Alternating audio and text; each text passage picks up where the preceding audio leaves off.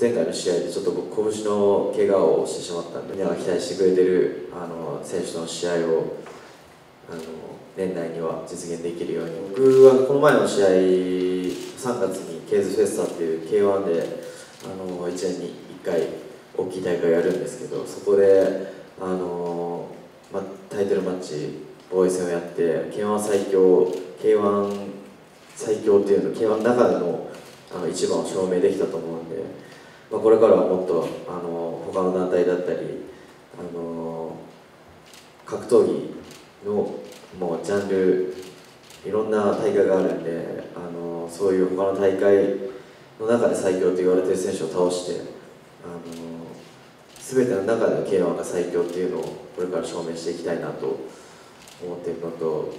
まあ、と前前回の試合でちょっと僕拳の怪我をしてしまったんでそれを今治療しながら練習している段階なんであのしっかりその怪我を治してあのみんなが期待してくれてるあの選手との試合をあの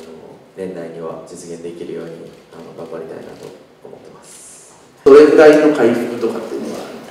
まだちょっとパンチは普通には打てないかなっていう。僕ちょっと見てなくてはい。映像でもですか？そうです。あ本当ですか？